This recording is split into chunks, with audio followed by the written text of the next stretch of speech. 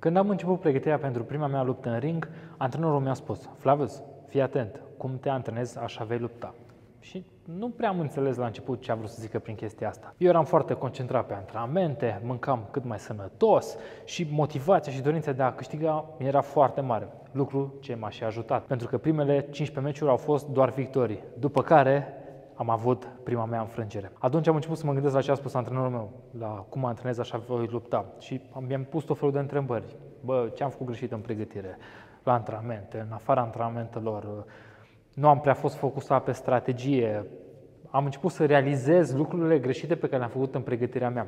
Și am continuat antrenamentele și am avut din nou o luptă, unde, la fel, am pierdut, lucru ce m-a demoralizat și mai tare, aproape că era să renunț. Și mă tot gândeam, mă, Antrenamentele acum au fost foarte bune, am fost foarte concentrat pe antrenamente. În afara antrenamentelor dormeam bine, mâncam cât mai bine, eram odihnit, însă nu prea consumam informația care să mă ajute să fiu cât mai motivat aici sus. Și am început să mă uit la meciuri, să iau chestii motivaționale ce să mă inspire, ce să mă motiveze să intru cu mai multă dorință și ambiție de a câștiga. Lucru ce m-a și ajutat în următoarea luptă. A venit victoria.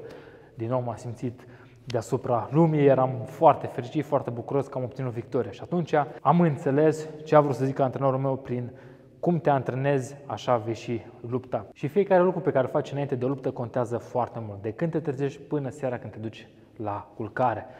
Ce faci dimineața înainte de a merge la antrenamente, ce faci la prânz, ce faci seara la antrenamente, ce citești, ce informații iei, dacă stai toată ziua pe TikTok, pe Instagram, clar nu o să te ajute. Fiecare lucru contează în pregătirea ta pentru luptă, pentru că te poate ajuta să câștigi sau să pierzi, cât de concentrat ești la antrenamente, pe tehnicile pe care le înveți, pe lucrurile pe care le faci la antrenamente. De exemplu, dacă tu lucrezi la sac și lucrezi doar așa, puțin, nu să te obosești prea tare, clar nu te va ajuta în ring. Dar dacă tu tragi tare și la sac, ești atent și cu partenerul, lucrezi cât mai intens, să obosești, să te simți obosit la finalul antrenamentului, adică să te simți extrem de epuizat, clar te va ajuta în ring și plus că îți va da și siguranță. Mă, m-am antrenat intens, sunt pregătit să lupt, să câștig și clar, când vei intra acolo în ring, vei da tot ce mai bun din tine și vei face tot posibilul să câștigi.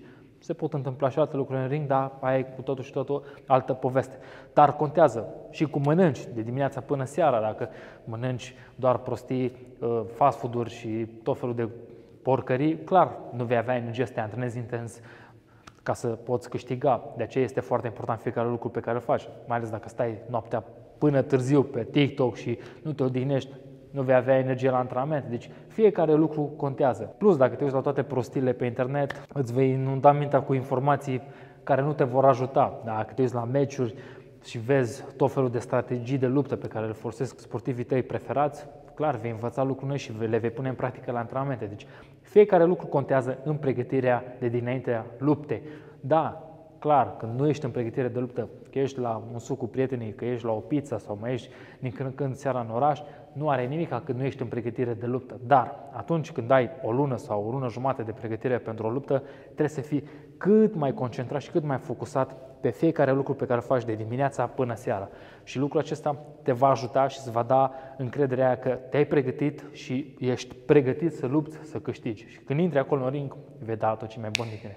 Dacă faci lucrurile astea în pregătirea ta de luptă, poți să-ți garantez că vei putea câștiga lupta. Așa că dă tot ce mai bun din tine și cu siguranță vei obține tot ce mai bun de la viață. Până data viitoare, fii puternic, fii eficace, Samuele. I came from the mud, there's dirt on my hands, strong like a tree, there's roots where I stand. Oh, I've been running from the law. Me down.